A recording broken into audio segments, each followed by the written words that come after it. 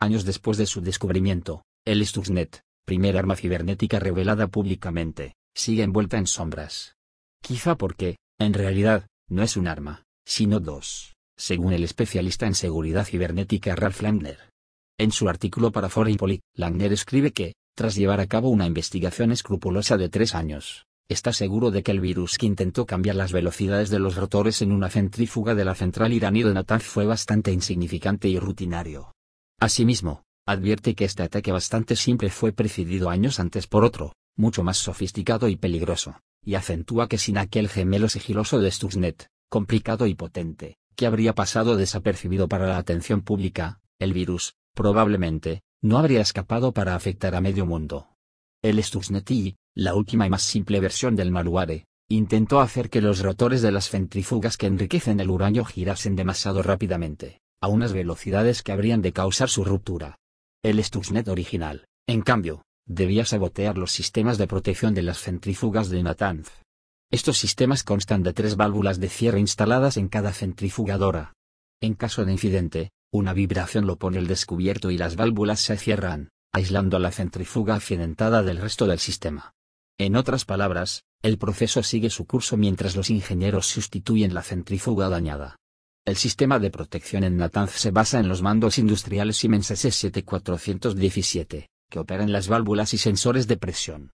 El Stuxnet estaba diseñado para tomar el control completo de estos mandos, es decir, de los sistemas informáticos incorporados, directamente conectados con un equipamiento físico como las válvulas, algo inimaginable hasta entonces. Un mando infectado con el Stuxnet es desconectado de la realidad física, el sistema del control empieza a ver solo lo que el virus quiere que vea. Lo primero que hace el malware es tomar medidas para ocultar su presencia. Graba los valores de los sensores del sistema durante un periodo de 21 segundos. Luego reproduce estos 21 segundos en una trayectoria circular mientras se realiza el ataque, los asaltos se sucedían una vez al mes, de tal forma que para el centro de control todo va bien, tanto para los operadores humanos como para cualquier sistema automático. Mientras tanto, el Stuxnet empieza su trabajo sucio, cierra las válvulas de aislamiento para las dos primeras y las dos últimas etapas del enriquecimiento, bloqueando de tal modo la salida del hexafluoruro de uranio, el gas que sirve para obtener el uranio enriquecido, y aumentando la presión sobre las centrífugas. El aumento de la presión da lugar a que en las centrífugas se acumule más gas de lo debido, generando más estrés para el rotor mecánico. La presión puede provocar, además, que el hexafluoruro de uranio gaseoso se solidifique y dañe la centrífuga fatalmente.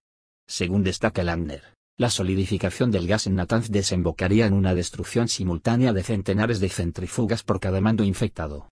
Sin embargo, el experto insiste que esto no fue el objetivo de los hackers, porque, en este caso, los especialistas iraníes no habrían tardado mucho en descubrir el origen del desastre. En cambio, hacían todo lo posible para frenar los ataques a tiempo, antes de que se desencadenara una reacción catastrófica. Su objetivo fue más bien incrementar la carga sobre los rotores para que quedaran fuera del servicio, pero no en el momento del propio asalto, concluye Langner. Al mismo tiempo, el especialista destaca que se desconoce el resultado final de esta estrategia y que a partir de 2009 los agresores cambiaron del instrumento. Cabe destacar que Langner no es el único especialista que denuncia la existencia de las dos versiones de Stuxnet. A inicios de este año los investigadores de Symantec Core, SIM.o, también declararon que había sido una versión del virus informático Stuxnet la que se utilizó para atacar el programa nuclear de Irán en noviembre de 2007.